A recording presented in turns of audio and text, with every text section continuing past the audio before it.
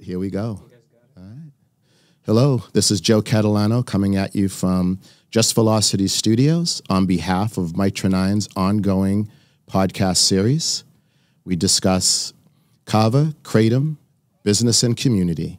And today we have a special guest, CC Mirage, who has some, she's a former podcaster.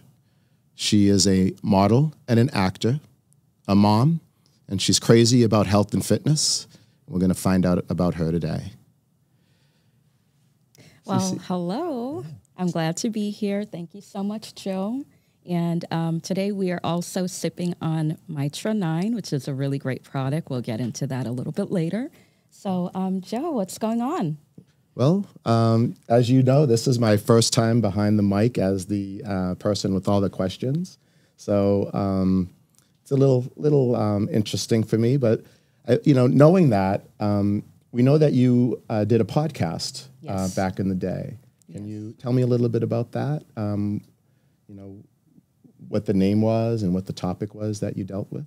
Yes. So the name was the Michael and Sian show, which aired like right before COVID. We had 10 episodes and it was mainly about real life issues in America. So um, that was very important for us to talk about. And I kind of want to get back into that since a lot of people now, they, um, you know, want to change their lives for the better by uh, eating healthy, drinking healthy. So that's kind of why I'm here and where we're at, where we are at. Excellent. That sounds amazing. So, um, what were some of the challenges you had during uh, your podcast days? Um, honestly, um, there wasn't too many challenges for me because it, you know, I fell right into it. Like I love talking and I love connecting with people and making people, um, you know, feel important and also um, comfortable, comfortable knowing that like if they're going through something, they can relate and we can figure it out. Excellent. Well, your podcast was on a great topic. Um, did you do you have a podcast that like sticks out in your mind as like just something amazing that you could listen to over and over? Yes, actually, it's not a happy one, to be honest with you, but my most important topic was suicide awareness in America. Um, a lot of people get uncomfortable, sensitive when talking about stuff like that, but it's really important to put it out there and what we can do about it. That's a great one. You know, it hits my heart. I just met a gentleman this week who is a former military um, gentleman who was the only survivor in an explosion, and um, he expressed some of his, you know, survival guilt and some of the challenges that it um, brings to his life, his wife, his relationship with his wife and his kids, um, but also felt that um, he didn't deserve to live. Like, why did he survive and has contemplated suicide? Wow. So, um, you know, that's an important uh, topic. I don't think it's discussed enough. And uh, that's amazing that you were hopefully it fell on the right ears, and without you knowing, you probably saved some lives with that comp- with that podcast. Thank you. And I hope so. And I really appreciate you elaborating on that. Excellent. So, um, modeling and acting. So, what inspired you to sort of get into that area? Well, it started a very long time ago. Yeah. I'm a dinosaur. so, um, my interest started about um, nearly 20 years ago. And things were very different back then. And it really started with people telling me, like, oh, you have a look, you should try it. And I'm like, okay, I'm interested. I'm open to trying different things. And that's kind of how I got into it. But I more so fell into the love of acting because I can um, escape like my own reality in that moment and be somebody else. Excellent. So, in the acting realm, since that's sort of where you want to be, um, what was your greatest achievement? Um, what has been your greatest achievement since being in the acting arena? So um, you're like really tickling my fanny here. Okay. so um, actually, I've done like several big projects in the past, but my favorite one was a suicide promotional video that I've done um, like about a year and a half ago and um, it's still on YouTube. But that one hit home for me because um, I lost a family member like nearly eight years ago to suicide. And I thought it was so important for that video to be out there for people to see it, understand it, and think about other people in their lives or even themselves. Like if they're having a moment where they're depressed or a bad day, not to um, keep it inside. You know, reach out to somebody, talk to somebody. Don't be um, afraid or shy that you're going through something. Excellent. So, um, sorry. Um, what is some advice you have for anyone that might be looking into modeling and acting? So it is um, a very competitive industry, to be honest with you. Not so much um, with modeling, but the most important thing is to um, get signed with a really good, reputable modeling and talent agency. Um, please don't try to represent yourself if you're not um, familiar with the industry because there are a lot of con artists out there, to be honest with you, people that just make random posts on, um, you know, Craigslist or something like that. And, you know, a lot of people that are young or not new to the industry, they can fall into, um, you know, making mistakes of, oh, here's my phone number and let's just do business without actually knowing the business. So, in your experience, um, did you ever have an opportunity um, that arose where maybe you felt like this wasn't the right per- person for you and you had to make certain decisions to protect yourself? Oh, definitely, especially um, nearly 20 years ago where things were different. Um, it was more like hands on. Um, you know, the whole digital industry wasn't what it is today. So um, there was many times where I would get approached by, you know, freelance photographers or freelance agents and I didn't really realize in the beginning they have to have like the agency number, um, what are their credentials, until I found um, a couple of really good agencies and I stuck with that. Excellent. So, what was it about those really good agencies that stuck out? So, maybe someone that is looking for an agent could sort of look for? Did they have special details about them that helped you make the right decisions? Definitely. So there are so many out there, as you know, but um, most importantly, beginning for beginners, um, a non exclusive agency so they can work with, the talent can work with multiple agencies, unless if they get a big contract with um, a big company. But um, that's one of the most important things for me. Also, the agency license and um, their credentials, like who have they worked with? You know, like certain companies are bigger than others, you know, so that's a big um, important question to ask as well. Excellent. Very important because with the um, presence of human trafficking and so many other terrible things that are happening, this, the acting and modeling community can be a very um, unsafe oh, arena for young young men and women uh, because of that. Yes. Did you ever experience or know of anybody that may have um, had a really bad experience? Um, yes, um, not to that extreme, thank God, but um, there was moments, like I said, even for myself, where I've been approached by freelance agents, photographers that tried to, um, you know, get money out of me, scam me. But um, you know, if they're they're not licensed. If you're not signing a model release for each job, it's not reputable at all. Never um, just go straight in. Here's my phone number. Here's my point of contact, and, and do it yourself. Great.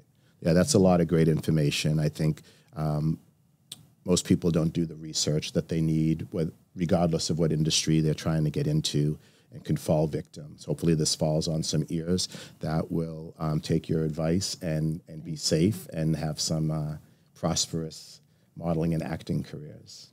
So, um, we did speak a little bit before the podcast, and I understand that your acting and modeling has been on a hiatus for a little bit. Yes. Can you tell me about, like, where is it going and what could we expect from you in the future? Okay, so um, as of right now, I'm kind of um, transitioning um, out of hiding. well, um, just transitioning transitioning into like a new beginning. So throughout the 20 years that I've been in this industry, I've been kind of in and out because I am a mother of two daughters, and I took a little break mainly because of them. And getting back into it, I'm kind of revamping, rebranding myself. And fitness is like the number one thing for me. Um, outreach to the community people to let them know um, how to get started. Um, so whether you're interested in modeling and acting or just um, you know fitness, health, uh, we're going to cover that. Excellent. So um, yeah, we look forward to seeing uh, your career progress, and uh, hopefully we stay in Thank touch, you. and we could have you back when when things are really prospering for you. Thank you so much. Um, you mentioned that you have two little girls. Tell us a little bit about them. Okay, well, they're a handful. so, um, my advice is don't do the back to back. They're 18 months apart, and um, it is a handful, but I love motherhood. You know, like children will give you more purpose, meaning, and drive to go further because you're being a role model to them. So, every day I get motivation from just waking up with them looking at me. I know that I have to push myself further and show them like if I can do it, you can do it. So that's the thing. So many people miss out on their opportunities or their dreams just die and fizzle away uh, because they have children.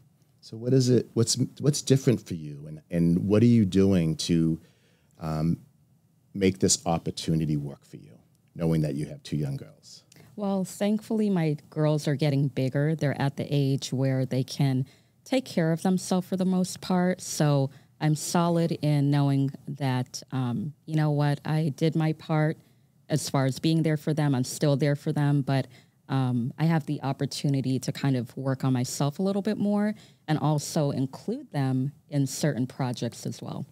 Excellent. They must love that. Yes. So, um, do you see either one of them or both sort of following in your footsteps? Definitely. So my little one, she's 10 years old and she's already done like a couple little commercials. Um, yeah, she's been luck- lucky because she got directly booked on a commercial with just her look. So with children, um, it's less competition when it comes to this industry. So it's a little bit um, easier for them but yeah, they, you know, I'm I'm just taking it kind of one step at a time and not putting too much pressure. Um, the most important thing as a parent is to um, allow your children to have a voice. So if they ever said to me, "Mommy, I don't want to do this. I'm not interested," I'm not going to push them. I'm not that parent. Respecting Yes. their. Um, sorry about that. But yeah, res- respecting the ability to make decisions for themselves, whether they're Yes. tired or it's just not the direction they want to go in. That's excellent. Yeah, that's that's amazing. You know, and I, I can see, you know, who knows, maybe someday you and your girls will be on a project together. Like, how would that I feel for you? So um, it would be exciting. It's different. You know, it's very different because in this industry, being you know doing certain things, whether it's a commercial or a print ad, um, you know, your mindset has to change when you're on set.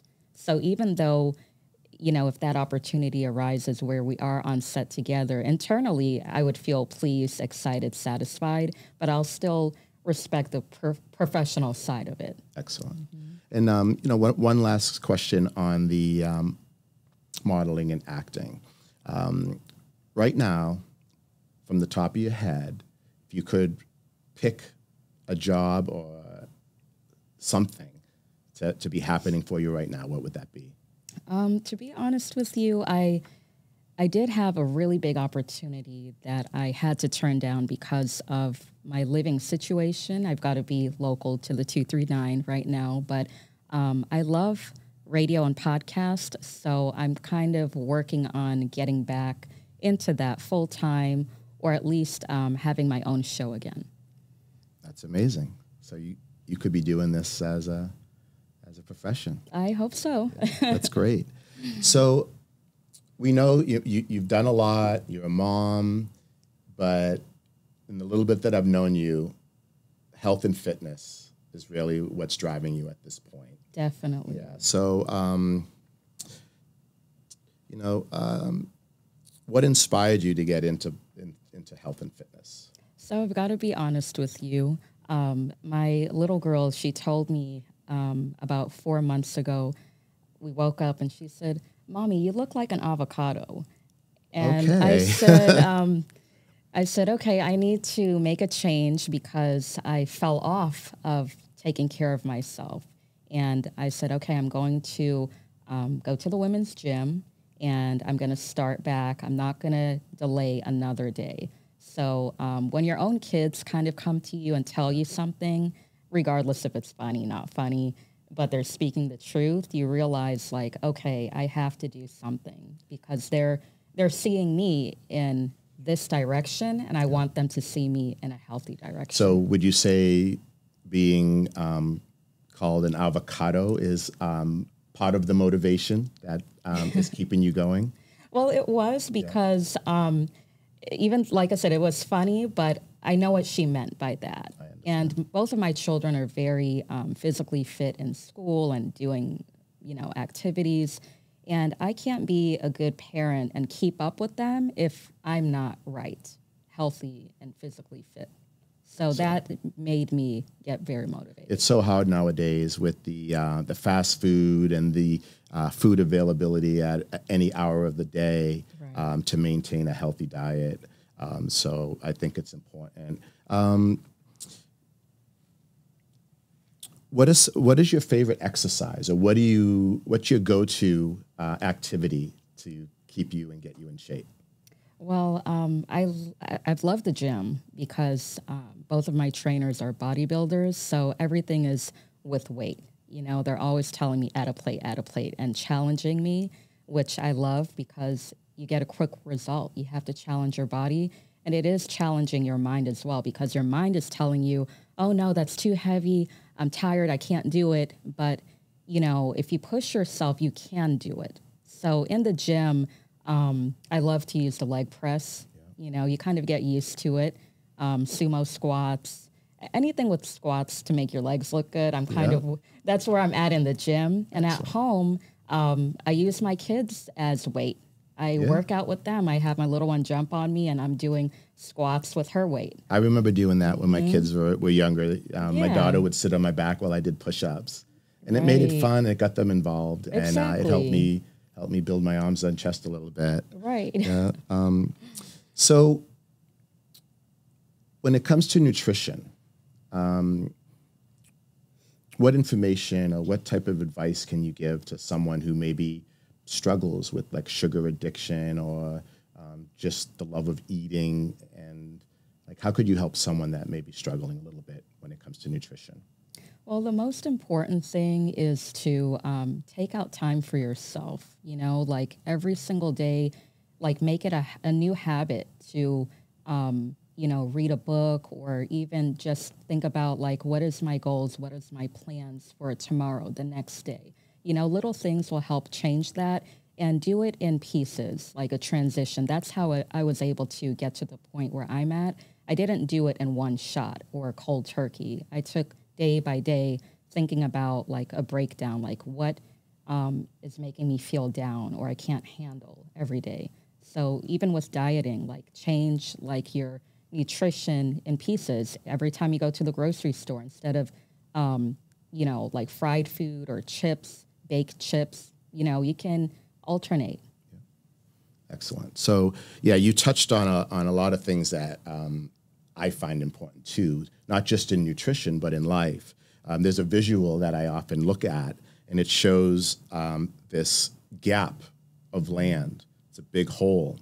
And when you look at it, it's like to cross it, it's almost impossible Right. because it's, it's the distance is too far. But as you said, do it in little pieces, and Yeah. you're able to cross and shorten that distance till you finally make it to the other side. to Absolutely. success. So uh, sometimes you know just just adding a small picture, you know, that you look at every day could um, potentially drive you to success. Absolutely. So with everything you do, you don't have any stress in your life, do you? Um, well, life can throw some weird things at us sometimes. So, you know, I, I just think about it in a different way, you know, like turn everything negative into a positive, you know, or even for me, like my little motto every single day, if something, you know, um, ugly pops up, I say to myself, this is temporary. It will change. And it is. Right. So little things can, you know, make your mindset different. That's where it all starts is your mindset.